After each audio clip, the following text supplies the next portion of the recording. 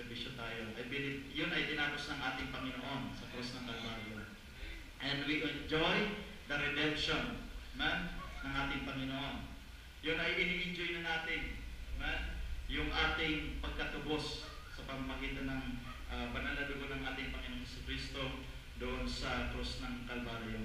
And thank you, Brother Danny, man, sa napakagandang message. Man. Hallelujah.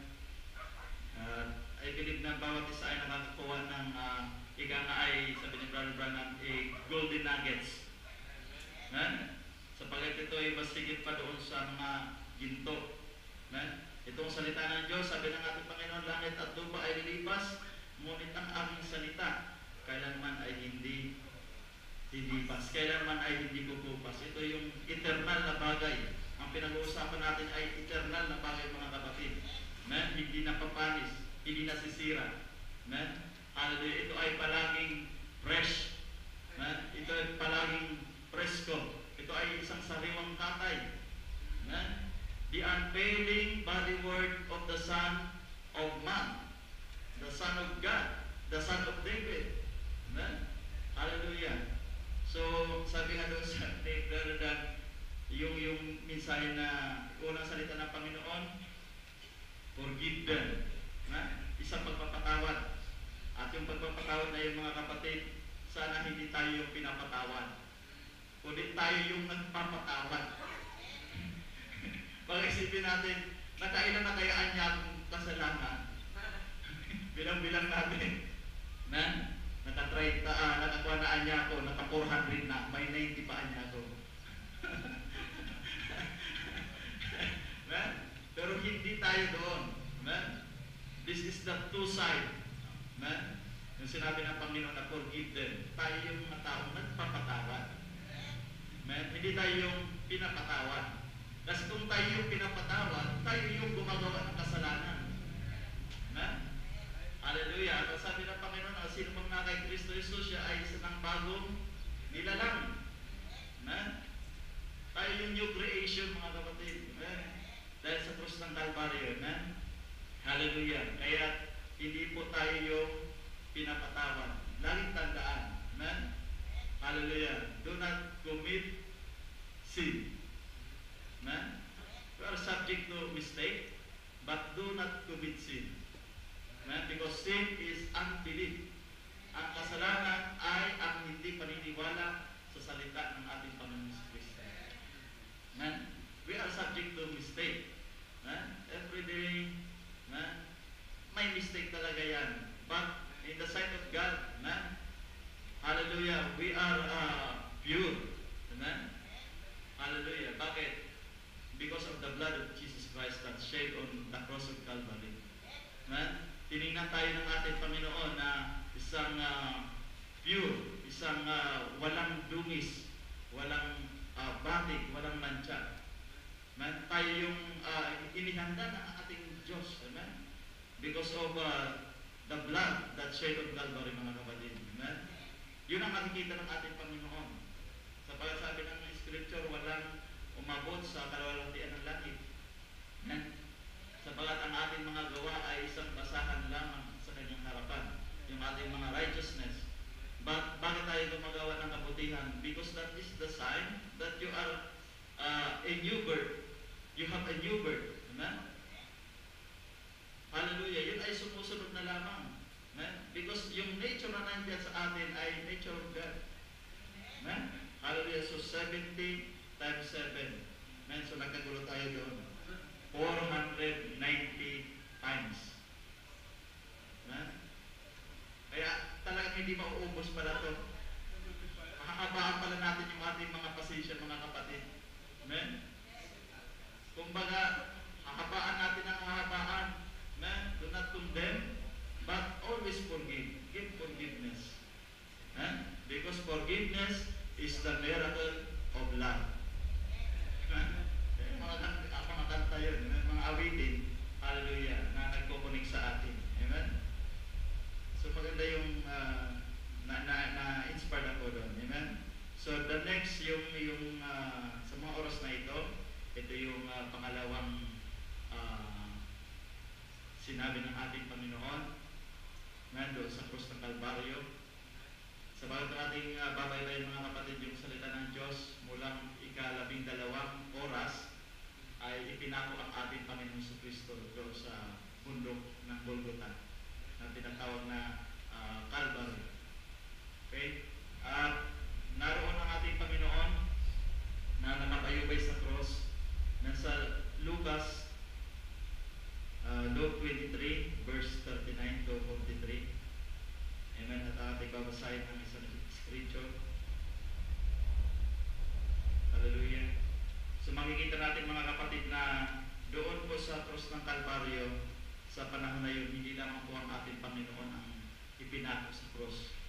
And meron po tatlong person, tatlong tao ang ipinako sa cross. And tatlo sila, isa sa kaliwa, isa sa kanan, at ang ating Panginoon ay naroon sa gitna. He is the center. Makikita natin. Na? He is the center of all things. Hindi siya nasa gilid mga kapatid, amen? Or nasa kaliwa o nasa, nasa kanan. He is always the center. Kaya yung ating mga paglilingkod, ang ating mga pagpupuri, yung ating pagsamba mga kapatid, He is the only center. Na? Siya ang yung talagang, siya lamang, wala nang iba. Amen? So, sa, sabi ko nga, any success of this life na wala si Christ, walang kabuluhan yan.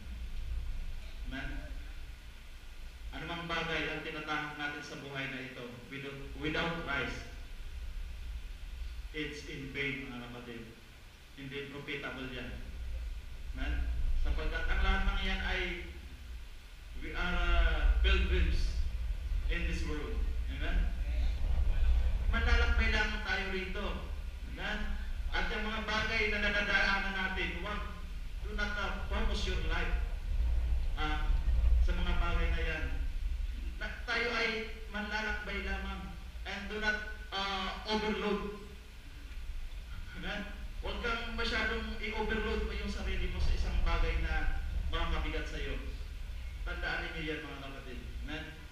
Hallelujah. Baka hindi ka tumagal. Kasi yung iba nag enjoy sa paglilingkod sa Panginoon, but you are overloaded to the things of the world. Amen? Hirap na hirap ka na. Amen? Bakit? Too much overloaded, sabi nga nung Indiano. too much. By too much. Eh? Meaning, lahat, amen? Lahat na makita mo ay, ay, ito, kwanto, ah, ah, isang bagay na mahalaga, ilalagay mo doon sa pakpak mo. Eh? Hanggang mapuno yung mga daladalahin mo, amen? Ang hindi natin alam na mayroon tayong uh, ito ay isang journey mga kapatid. Mapapagod tayo. Let us enjoy our journey. Amen? Hallelujah. I-enjoy natin yung ating journey. Kung mabigat na yan, sabi ng Panginoon, i- iba mo. Na? Bawasan mo.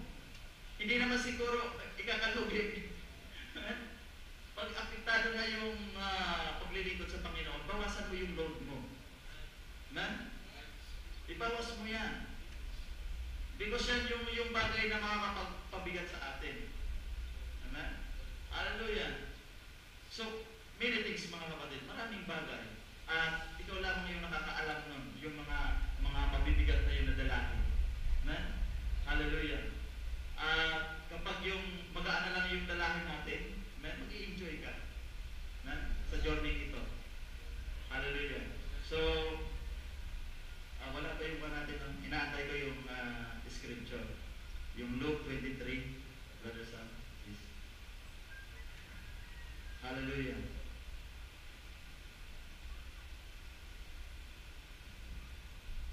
So Luke 23, verse, simulan natin sa 39. Okay. Sa verse 39. Okay.